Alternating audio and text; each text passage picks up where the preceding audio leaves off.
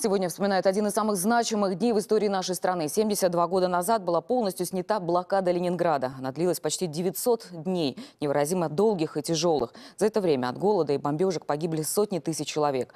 Но город не сдался, и фашистам взять его не удалось. Накануне памятной даты с одной из тех, кто стойко пережил блокаду, встретился наш корреспондент Дмитрий Витов. Валентина Федоровна редко рассказывает о блокаде. Считает, что ее история обыкновенная. Все детство тут, в центральном районе. В Таврическом саду десятилетней девчонкой услышала по радио о начале войны. Вон там собирались ополченцы. Здесь выстраивалась очередь к речной проруби. По этому мосту бесконечной вереницы везли умерших от голода. Мертвые были повсюду. Лежали в парадной, во дворе. Блокада. Очень частые были бомбежки и обстрелы. И нам доставалось, мы же жили без окон, без стекол, вернее. Вот в эти проемы были установлены такие амбразуры для пулеметов. Дома Валентина Федоровна, как всякий блокадник, прежде всего стремится накормить. Ставит чайник, достает фотографии. Друзья, одноклассники, танцевальный кружок. И вдруг замолкает, извлекая из конверта потертую книжицу. Так он же это, обгорелый. Это кровь моя мама.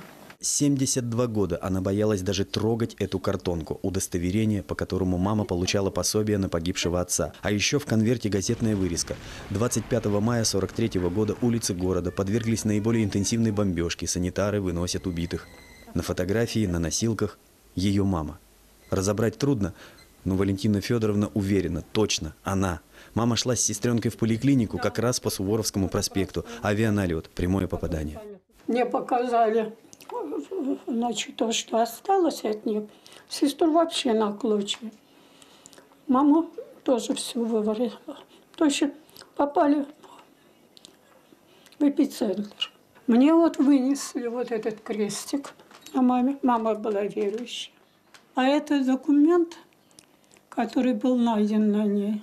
Отец оборонял дорогу жизни на Ладоге и погиб почти сразу. Вскоре на фронт ушел брат. Они с мамой и младшей сестрой выживали каким-то чудом. Мама до войны работала в кожевенной артели, сумочки в блокаду стали не нужны, а вот кожа пригодилась. И мы варили вот эти куски кожи. Был клейстер. Потом стали давать кровяную муку. А еще находили на газонах какие-то травинки, выкапывали из-под снега корешки. 125 граммов хлеба, полученные по карточке, делили на крошечные кусочки и размачивали в воде, так сытнее.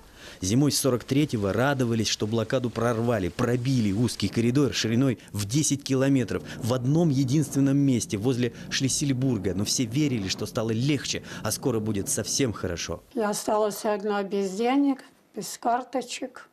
Вообще не понимаю, что мне делать. Валю, больную дистрофией, цингой и туберкулезом, определили в детский дом и спасли. Дети выступали в госпиталях, летом играли прямо на улицах, прохожим.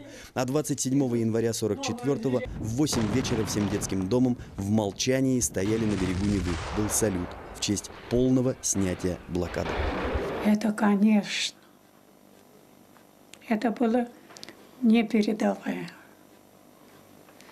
Это можно было лечь спать и быть уверенной, что ты проснешься.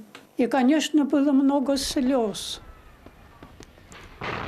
потому что мы плакали, мы потеряли своих родных. Я – это песчинка. Песчинка благодарная всем, кто выстоял, кто защищал нашу страну. Сегодня на центральных улицах Петербурга почти ничего не напоминает о событиях 70-летней давности. Город сильно изменился. Но Валентина Федоровна до сих пор старается обходить стороной этот перекресток. Угол второй Советской и Суворовского проспекта. Она по-прежнему видит изрешеченные стены, выбитые окна, вздыбленную мостовую и кровь на тротуаре. Кровь ее мамы и младшей сестры. Я почему так вам рассказываю, потому что люди, должны знать этот период. Передавать друг другу, чтобы то, что мы пережили, не забылось никогда и никогда бы не повторилось. Вот это самое главное. Никогда. Дмитрий Витов, Владимир Смирнов и Ксения Угарова. Первый канал. Санкт-Петербург.